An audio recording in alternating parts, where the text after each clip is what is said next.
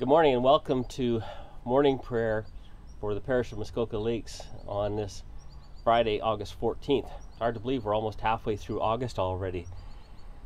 We'd like to thank our host today, Derek, Derek and Laura Stevens, for providing us with this beautiful setting that seems to be so indicative of Muskoka.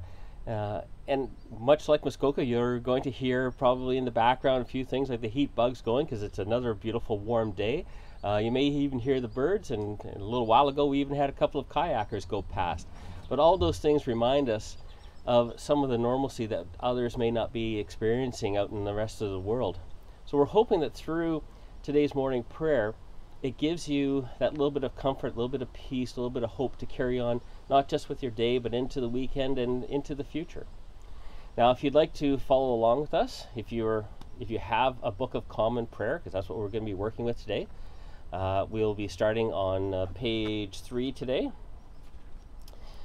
But if you don't have one, you can in fact get a uh, digital copy. They're in PDF form, and you go to anglican.ca, and under resources, you'll find that you can download these and have them handy with you. And today we begin with the sentences for worship. The Lord is in his holy temple. Let all the earth keep silence before him. O let the Lord in the beauty O worship the Lord in the beauty of holiness. Let the whole earth stand in awe of him. We turn over to page 4. Dearly beloved, the scripture moveth us in sundry places to acknowledge and confess our manifold sins and wickedness, and that we should not dissemble nor cloak them before the face of Almighty God our heavenly Father, but confess them with a humble, lowly, penitent, and obedient heart, to the end that we may obtain forgiveness of the same by his infinite goodness and mercy. And although we ought at all times humbly to acknowledge our sins before God, yet ought we most chiefly so to do when we assemble and meet together to render thanks for the great benefits that we received at his hands, to set forth his most worthy praise, to hear his most holy word, and to ask those things which are requisite and necessary as well for the body as the soul. Wherefore we pray and beseech you, as many as are here present, to accompany me with a pure heart and a humble voice unto the throne of heavenly grace. And together our general confession. Almighty and most merciful Father, we have erred and strayed from thy ways like lost sheep. We have followed too much the devices and desires of our own hearts. We have offended against thy holy laws we have left undone those things which we ought to have done, and we have done those things which we ought not to have done, and there is no health in us. But thou, O Lord, have mercy upon us, miserable offenders. Spare thou them, O God, which confess their faults. Restore thou them that are penitent, according to thy promises declared unto humankind in Christ Jesus our Lord. And grant, O most merciful Father, for his sake, that we may hereafter live a godly, righteous, and sober life, to the glory of thy holy name. Amen. Almighty God, the Father of our Lord Jesus Christ, who desireth not the death of sinners, but rather that they may turn from their wickedness and live, hath given power and commandment to his ministers to declare and pronounce to his people, being penitent, the absolution and remission of their sins. He pardoneth and absolveth all them that truly repent, and unfeignedly believe his holy gospel. Wherefore we beseech him and to grant us true repentance and his Holy Spirit, that those things may please him which we do at this present, and that the rest of our life hereafter may be pure and holy, so that at the last we may come to his eternal joy through Jesus Christ our Lord. Amen. Amen. And please join us in the saying of the Lord's Prayer. Our, Our Father, who art, in, heaven, hallowed be thy name. Thy kingdom come, thy will be done, on earth as it is in heaven. Give us this day our daily bread, and forgive us our trespasses, as we forgive them that trespass against us. And lead us not into temptation, but deliver us from evil. For thine is the kingdom, the power, and the glory, forever and ever. Amen. O Lord, open thou our lips, and our mouth shall show forth thy praise. O God, make speed to save us. O Lord, make haste to help us. Glory be to the Father, and to the Son, and to the Holy Ghost. As it was in the beginning, is now, and ever shall be, world without end. Amen. Praise ye the Lord. The Lord's name be praised. We'll carry on with the Venite, which is based on Psalm 95. O come, let us sing unto the Lord.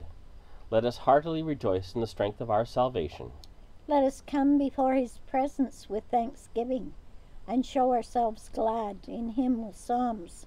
For the Lord is a great God, and a great King above all gods.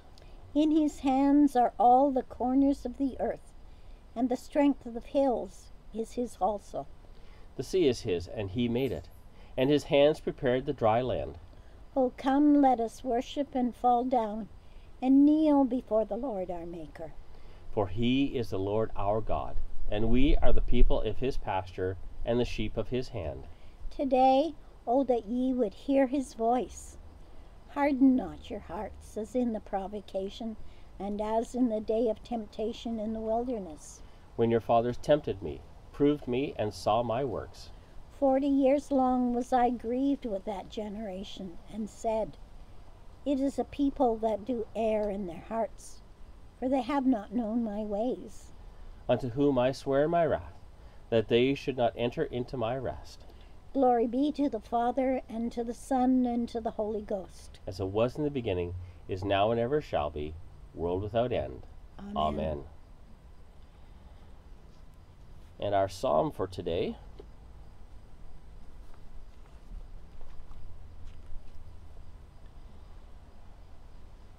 can be found on page 418, and it's Psalm 72, and we're going to do verses 1 to 13. Give the king thy judgments, O God, and thy righteousness unto the king's son. Then shall he judge thy people according unto right, and thy poor with justice. The mountains also shall bring peace, and the little hills righteousness unto the people. He shall keep the simple folk by their right, save the children of the poor, and punish the wrongdoer. He shall live as long as the sun, and while the moon endureth, from one generation to another. He shall come down like the rain upon the mown grass, even as the showers that water the earth. In his time shall righteousness flourish, yea, an abundance of peace, so long as the moon endureth. Let his dominion also be from sea to sea, and from the river unto the world's end. Let them that dwell in the wilderness kneel before him, and let his em- enemies lick the dust. Let the kings of Tarshish and the isles give presents, and the kings of Arabia and Seba bring gifts. Let all the kings fall down before him, and all nations do him service. For he shall deliver the poor when he crieth, the needy also, and him that hath no helper. He shall have pity on the weak and the needy, and shall preserve the souls of the poor. Glory be, to the Father, and, to the Son, and, to the Holy Ghost, as it was in the beginning, is now, and ever shall be, world without end. Amen. And we return to page 7 in the book, and here we'll do the Te Deum Laudamus. We praise thee, O God. We acknowledge thee to be the Lord. All the earth doth worship thee, the Father everlasting. To thee all angels cry aloud, the heavens and all the powers therein. To thee cherubim and seraphim continually do cry. Holy, holy, holy, Lord God of hosts. Heaven and earth are full of the majesty of thy glory. The glorious company of the apostles praise thee. The goodly fellowship of the prophets praise thee. The noble army of martyrs praise thee. The holy church throughout all the world doth acknowledge thee. The Father of an infinite majesty. Thine honorable, true, and only Son. Also the Holy Ghost, the Comforter. Thou art the King of glory, O Christ. Thou art the everlasting Son of the Father. When thou tookest upon thee to deliver man, thou didst not abhor the Virgin's womb. When thou hadst overcome the sharpness of death, thou didst open the kingdom of heaven to all believers. Thou sittest at the right hand of God in the glory of the Father. We believe that thou shalt come to be our judge. We therefore pray thee, help thy servants, whom thou hast redeemed with thy precious blood. Make them to be numbered with thy saints in glory everlasting. O Lord, save thy people and bless thine heritage. Govern them and lift them up forever. Day by day we magnify thee. And we worship thy name, ever world without end. Vouchsafe, O Lord, to keep us this day without sin. O Lord, have mercy upon us. Have mercy upon us. O Lord, let thy mercy lighten upon us as our trust is in thee. O Lord, in thee have I trusted. Let me never be confounded. And we turn to page 457.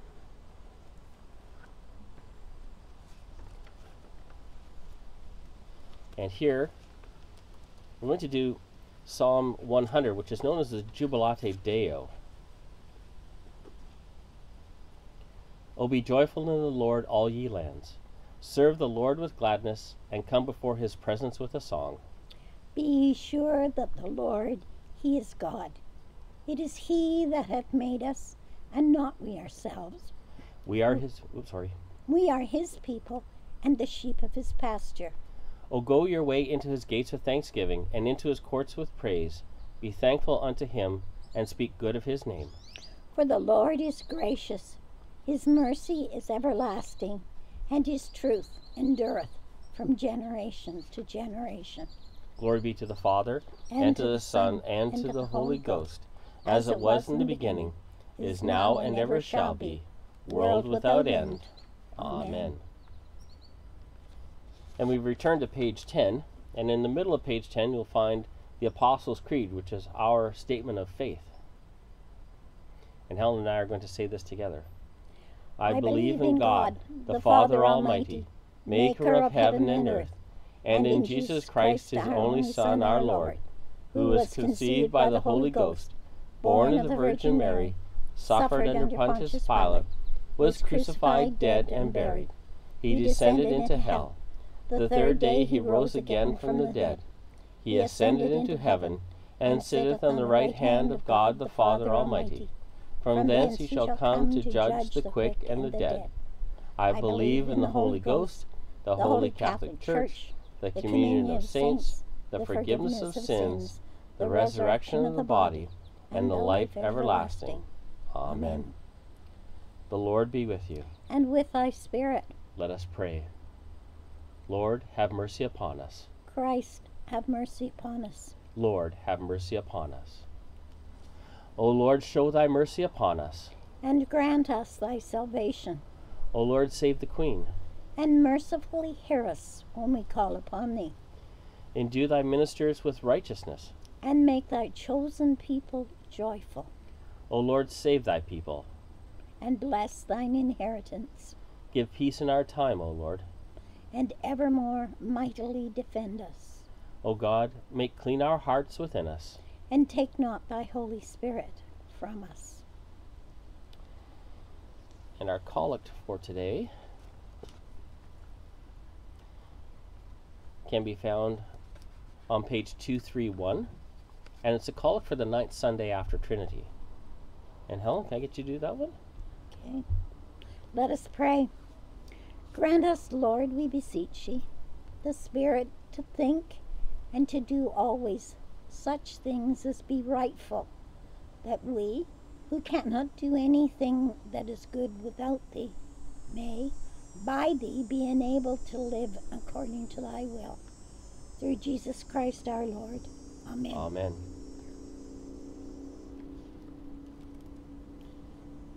And we return to page 11, and our second collect for the day is a collect for peace. O God, who art the author of peace and lover of concord, in knowledge of whom standeth our eternal life, whose service is perfect freedom, defend us, thy humble servants, in all assaults of our enemies, that we, surely trusting in thy defense, may not fear the power of any adversaries, through the might of Jesus Christ our Lord. Amen. Amen. The third collect for grace. O Lord, our heavenly Father, almighty and everlasting God, who has safely brought us to the beginning of this day, defend us in the same with thy mighty power, and grant that this day we fall into no sin, neither run into any kind of danger, but that all our doings may be ordered by thy governance, to do always that is righteous in thy sight. Through Jesus Christ our Lord. Amen. Amen. And we continue with a prayer for the clergy and people, which is found on page 13. Almighty and everlasting God, from whom cometh every good and perfect gift, send down upon our bishops and clergy, and all congregations committed to their charge, the healthful spirit of thy grace, and that they may truly please thee, pour upon them the continual dew of thy blessing. Grant this, O Lord, for the honor of our advocate and mediator, Jesus Christ. Amen. Amen. And the prayer for all conditions? O God, the creator and preserver of all humankind, we humbly beseech thee for all sorts and conditions, that thou wouldst be pleased to make thy ways known unto them, thy saving health unto all nations. More especially, we pray for the good estate of the Catholic Church, that it may be so guided and governed by thy good Spirit that all who profess and call themselves Christians may be led into the way of truth and hold the faith in unity of spirit, in the bond of peace, and in righteousness of life. Finally, we commend to thy fatherly goodness all those who are any ways afflicted or distressed in mind, body, estate. And here you may place your prayers for those who are afflicted. That it may please thee to comfort and relieve them according to their several necessities, giving them patience under their suffering, and a happy issue out of all their afflictions. And this we beg for Jesus Christ's sake. Amen. Amen.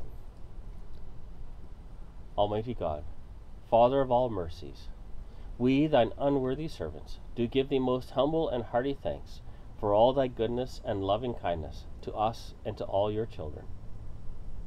We bless thee for our creation, preservation, and all the blessings of this life, but above all, for thine inestimable love in the redemption of the world by our Lord Jesus Christ, for the means of grace and for the hope of glory.